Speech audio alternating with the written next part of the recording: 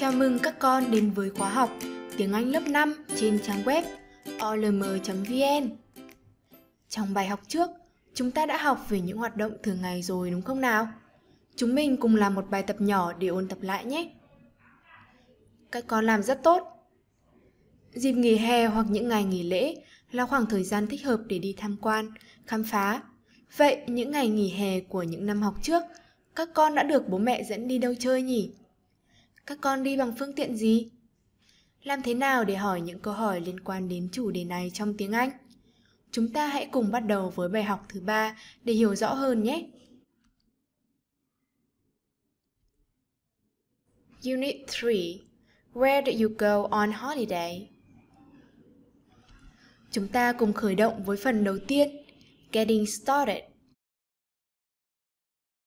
Sau một kỳ nghỉ hè dài dành thời gian bên gia đình và bạn bè, Ba và Daisy đã trở về lớp học để bắt đầu cho một năm học mới hứa hẹn nhiều kiến thức bổ ích. Hai bạn tình cờ gặp nhau ở hành lang và hỏi thăm nhau về kỳ nghỉ hè vừa rồi. Where did you go on your summer holiday, Daisy? I went back to my home in America. How did you get there? I went there by plane. What was the trip like? It was fantastic. I missed everyone there. How about you? What did you do? I went to Way Imperial City. It's very beautiful. How did you get there? I went by train. Chúng ta cùng nghe và nhắc lại đoạn hội thoại vừa rồi nhé. Where did you go on your summer holiday, Daisy? I went back to my home in America. How did you get there? I went there by plane. What was the trip like? It was fantastic. I missed everyone there. How about you? What did you do? I went to Way Imperial City. It's very beautiful. How did you get there? I went by train. Cảm ơn các con. Chúng ta cùng đến với phần thứ hai, vocabulary. Có rất nhiều phương tiện giao thông được tạo ra nhằm mục đích giúp con người di chuyển dễ dàng hơn. Và ngày hôm nay, chúng ta sẽ học từ mới về những phương tiện này nhé. Đầu tiên là phương tiện rất phổ biến ở Việt Nam chúng mình. Các con có biết đó là gì không? Các con đoán đúng rồi đấy.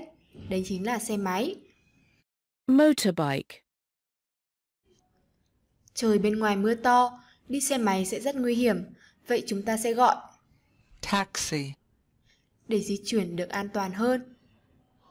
Phương tiện nào di chuyển được trên đường sắt nhỉ? Các con đoán đúng rồi đấy. Đó chính là tàu hỏa. Train. Chúng mình cùng luyện tập lại nhé. Motorbike. Taxi. Train.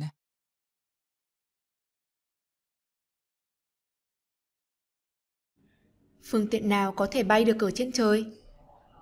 Chính xác, đó chính là máy bay. Plane. Vậy ở dưới mặt đất, xe gì có thể chở rất nhiều người nhỉ? Coach. Đó chính là xe khách. Vậy ở dưới mặt đất thì sao? Phương tiện gì có thể di chuyển dưới mặt đất? Các con đoán đúng rồi đấy, đó chính là tàu điện ngầm. Underground. Chúng ta cùng luyện tập lại nhé. Plane. Coach. Underground. Các con có biết, có những thị trấn được xây dựng từ thời rất xa xưa nhưng vẫn còn được bảo tồn và lưu giữ cho đến ngày nay. Và những thị trấn đấy được gọi là thị trấn cổ hay là phố cổ. Ancient town. Đã bạn nhỏ nào được đến thăm cố đô Huế chưa nhỉ? Một nơi lưu giữ ký ức lịch sử của cha ông ta để lại. Vậy cố đô, trong tiếng Anh chúng ta có từ Imperial City. Chúng ta cùng nghe lại những từ này một lần nữa nhé. Ancient Town. Imperial City.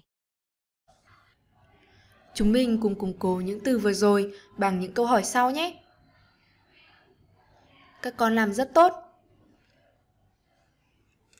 Chúng ta tiếp tục với phần thứ ba, structure. Trong đoạn đối thoại ở phần 1, các con nghe thấy bạn ba đã hỏi Daisy về kỳ nghỉ hè của bạn ấy. Chúng ta cùng theo dõi lại nhé. Where did you go on your summer holiday, Daisy? I went back to my home in America. How did you get there? I went there by plane.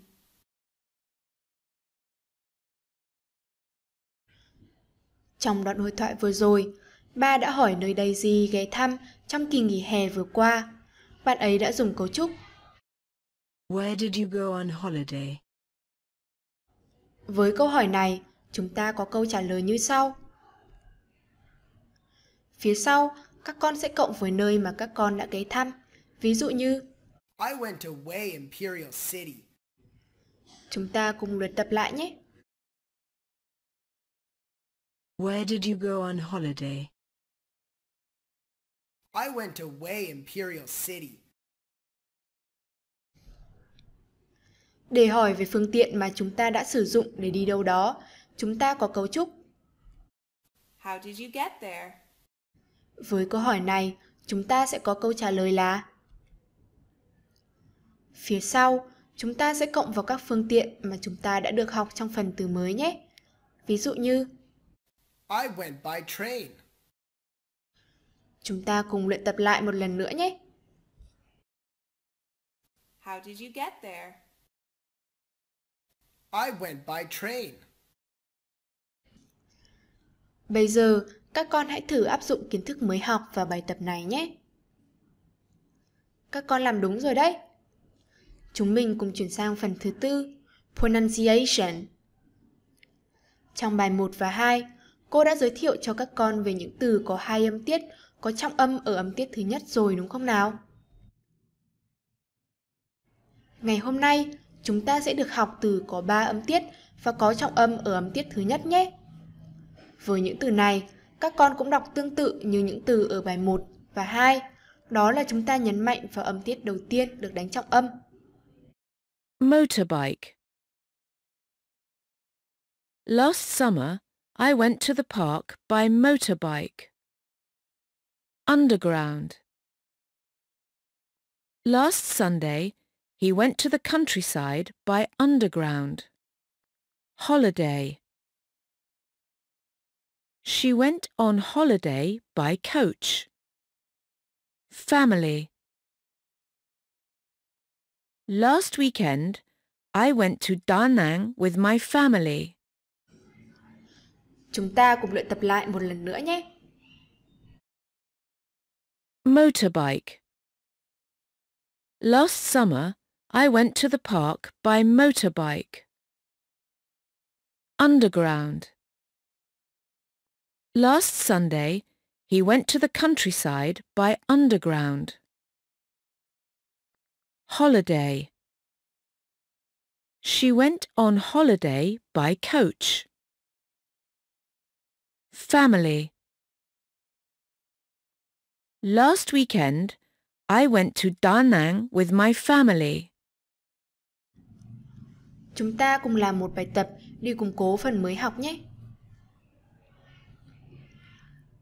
Các con làm rất tốt. Vậy là chúng ta đã tìm hiểu xong các nội dung trong bài thứ ba rồi. Trong bài này, các con đã nắm thêm được rất nhiều từ mới về kỳ nghỉ trong quá khứ, past holiday, và cả những từ vựng liên quan đến chủ đề phương tiện di chuyển, means of transport. Về cấu trúc, con ghi nhớ đã được học những mẫu câu hỏi liên quan đến chủ đề được học ở phần từ mới. Và cuối cùng, chúng ta cũng đã được học thêm cách đọc 4 từ có 3 âm tiết có trọng âm đầu tiên. Các con hãy chăm chỉ ôn tập bài nhé. Xin chào các con và hẹn gặp lại các con trong bài học tiếp theo.